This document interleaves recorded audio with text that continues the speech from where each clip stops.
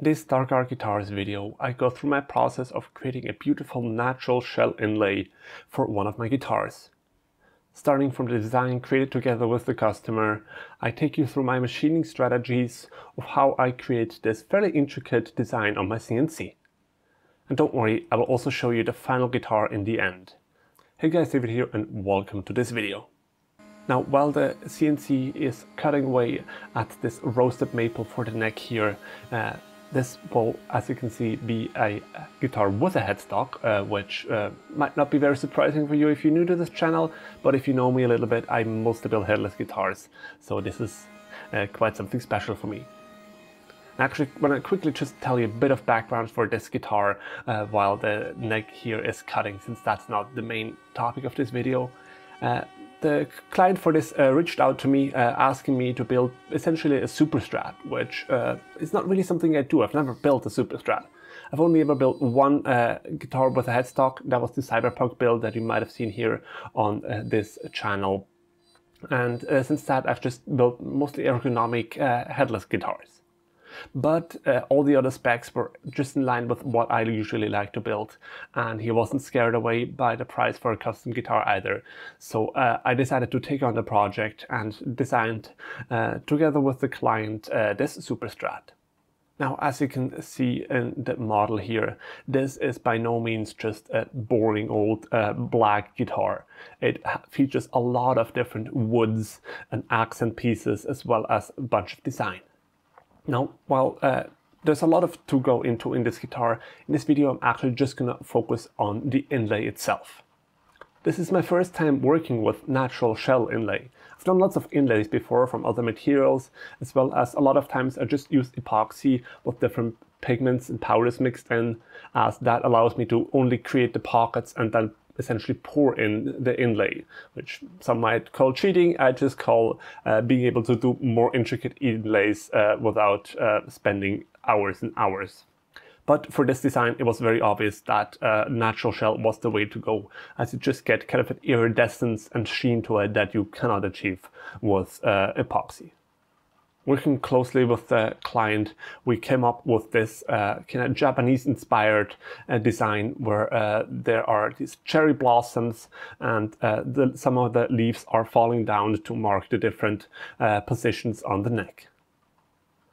Now, this kind of style and design of cherry blossoms uh, for an inlay is not completely uh, my idea. Uh, the client did come to me uh, with a reference of a different guitar that is using something similar, but we just used that kind of as a rough uh, guideline and then uh, came up with this design from scratch.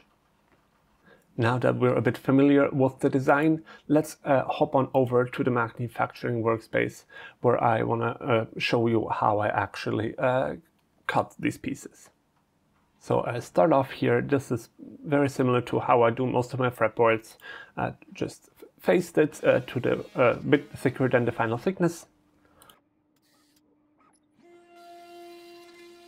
Cutting the outline. The nut slot. And then here, since uh, this will be a spoke wheel adjustment, I uh, cut away uh, this pocket as well and uh, drill a small hole for the magnet. Then here is where the actual magic happens.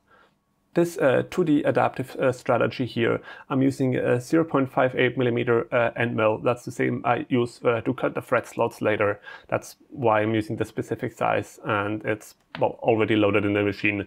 And I'm using that uh, to adaptive away all of the different pockets. Now, this end mill, just like a lot of the other ones you're going to see here, uh, was provided to me by Precise Bits. Uh, they're not, not directly sponsoring this video in any way, uh, but I'm really impressed with uh, their uh, bits here that they provided. And it's a three flute end mill uh, designed uh, for shell cutting as well as hardwoods. And this allows me to actually feed at some really decent speeds and know that the tool is going to last. So here you can see my feeds and speeds. I am running at 30,000 RPM because I can on my Spinogy X22 spindle. Um, a lot of you might only be able to go to 24,000, but then you just, well, can scale the rest accordingly. I'm cutting at around uh, 2000 millimeters a minute uh, to give me a uh, feed per tooth, uh, which is actually the important part of like 0.22 millimeters. This is like 3.5 to 4% of the tool diameter. And that's essentially how I compute kind of how fast I want to feed and how you can also uh, compute that uh, depending on how fast you can uh, feed and what kind of tool you're using. For the step downs here, I'm using 0.6 millimeters, so essentially one times the tool diameter, which uh, the wood here I haven't even mentioned as Ziricote. Uh, it is uh, not quite as hard as ebony, but still definitely on the hard side of hardwoods. And it can be a bit resinous if it is uh, too fresh, but this one has been in my workshop for well over a year, so the resin has uh, cured nicely, uh, so it, it, should not be uh, too gummy anymore. Then because I do want quite sharp corners uh, here for some of these pieces uh, so it looks nice, I'm actually going back in with a 0.4 millimeter end mill just with a rest machining uh, to tackle all of these uh, sharp corners and kind of make the whole design look more crisp. And at that point, we have all of the uh, inlay pockets cut. These are uh, 2 millimeters deep in the fretboard here, and I still have about 0.2 millimeters of extra meat over top. Then to cut all of these uh, different inlay pieces, uh, what I actually did to kind of arrange them in a way that makes it easier for cutting, as they kind of scatter all over the place here, is I uh, went into Fusion here and uh, created a manufacturing model. This is from within uh, the manufacturer workspace. You can here uh, on the setup create a manufacturing model and that essentially creates a linked duplicate of your design where you then can go in, you can edit it and you can move things around. Now to get these arrangements here, I used the modify arrange command here and then I selected uh, all the inlay pieces and this is uh, how I got these arrangements in here. And if you haven't uh, used this tool before, you essentially just select all the bodies and then you define kind of an envelope. This is how big, uh, in this case, your piece of uh, inlay material is.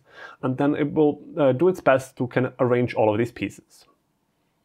Now, if not all of them necessarily fit, uh, then it will just leave some of them out. Uh, I'm not sure. I think here in this case, yeah, not quite all of them fit. So just cut uh, this twice as all of the different petals are the same size. And then uh, I, of course, did the same thing here for uh, the stems. The material I will be using is mother of pearl for the petals and abalone uh, for the stems. Now, to cut all of the, these petals out, I'm uh, using two different tools. First, I'm actually starting off with a 30 degree V-tipped kind of chamfering tool, and this I'm using to just kind of score the outline. This way, by chamfering them first, for one, my tiny end mill later will have kind of starting point, uh, as this chamfer tool is a lot more rigid than the 0.4 millimeter uh, end mill I will be using. And secondly, by using the chamfer tool first, I will get a little bit of uh, kind of an edge break here, which will make it a lot easier to uh, install them later as there's no sharp corner. Looking at uh, the feeds and speeds here, I have a separate profile that I created for cutting shell, and that's because cutting shell, you need to go quite slow.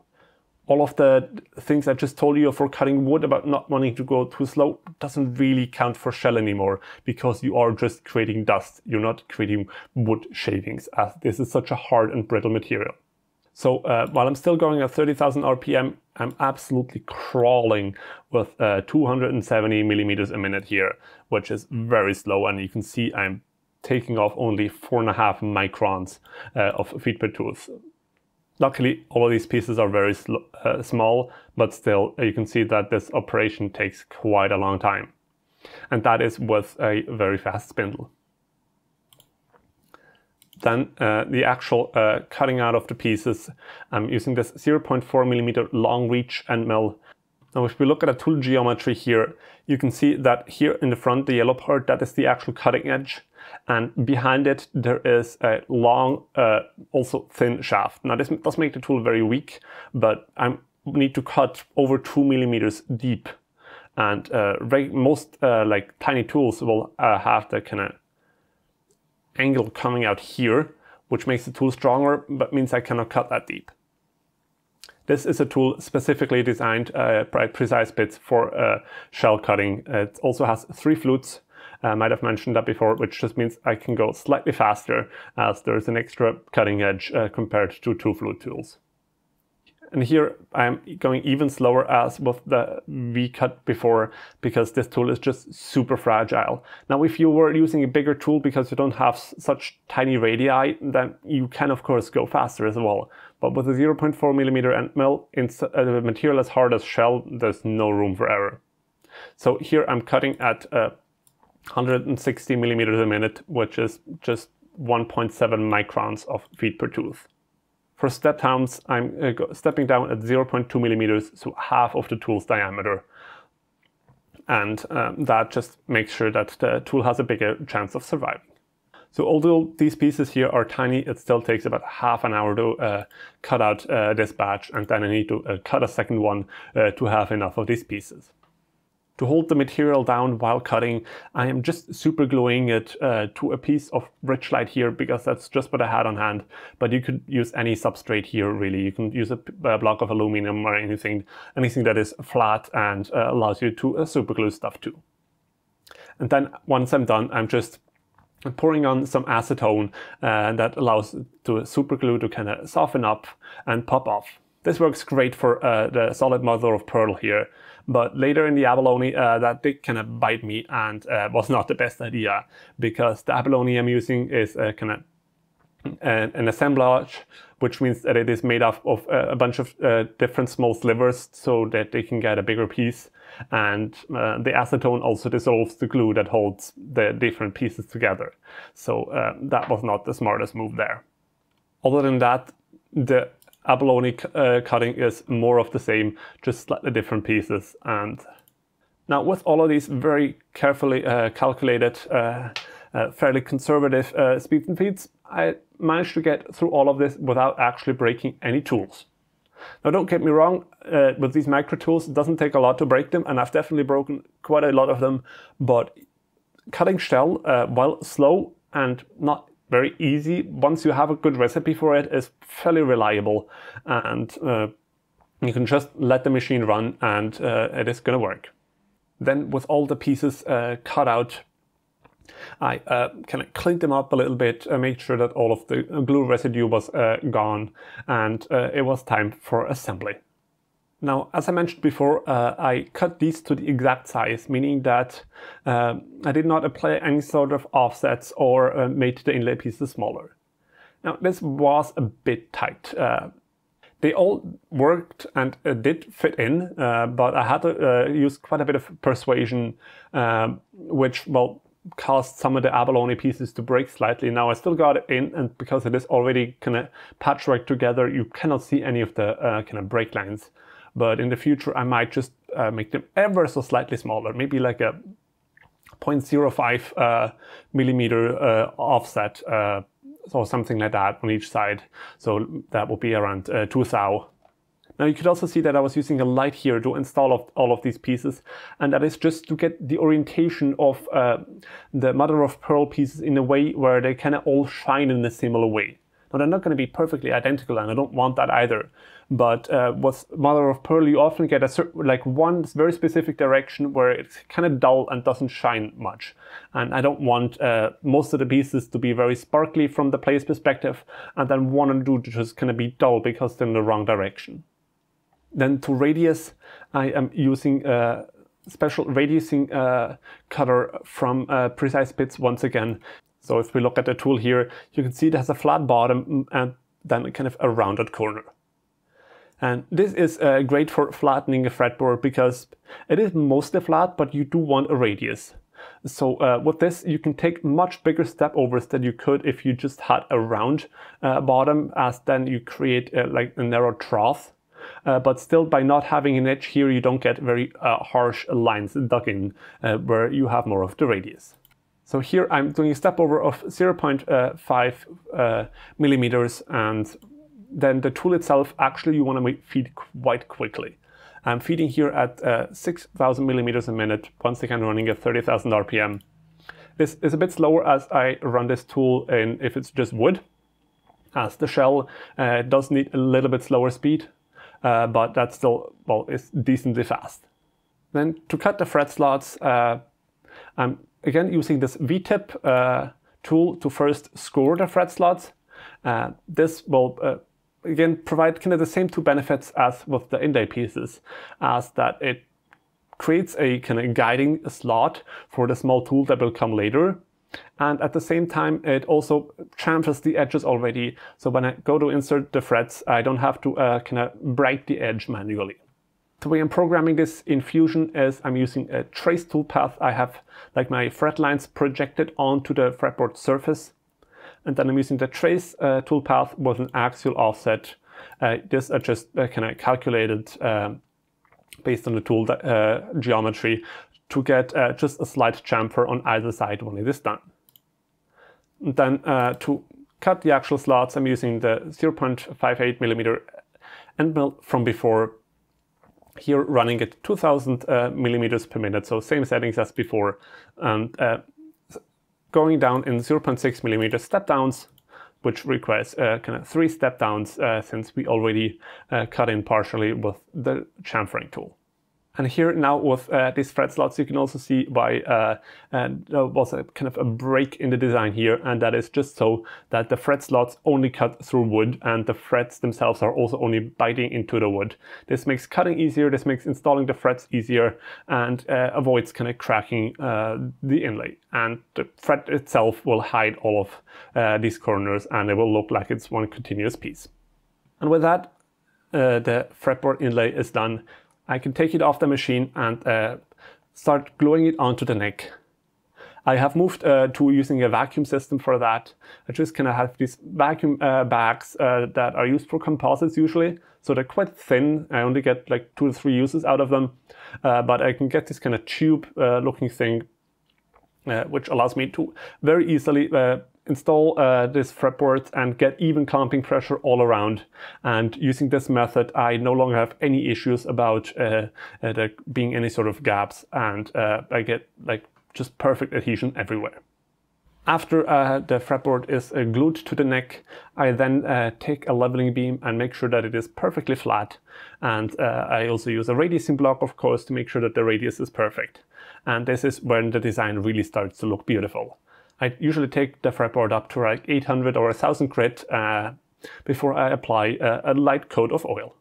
And then a couple of uh, months later, I have finished the entire guitar and I will leave you here with some glamour shots of uh, how it turned out. If you want to see more of the kind of in-between steps of building the rest of the guitar, do go check out my Instagram. I post a lot more on there. Also, there's a lot of guitar builds that never make it onto YouTube uh, that I only share uh, over there on Instagram. Otherwise, you can also, of course, check out my website uh, for much more. Uh, I also have uh, some 3D uh, files there for sale, as well as, of course, pictures of all of the completed guitars. Finally, I'm now also offering consulting services. So if you are a luthier or are uh, building things and you need help uh, with CNC or 3D modeling, specifically more like kind of luthier focused stuff, uh, if you want me to uh, kind of help you uh, find the right tool paths, uh, adjust the feeds and speeds for your machine, do contact me. I have more details on the website as well. And I can help you out to get some more productiveness out of your CNC. So with that, Thank you guys for watching. Make sure to like, comment, subscribe, all that good stuff, and I'll see you next time.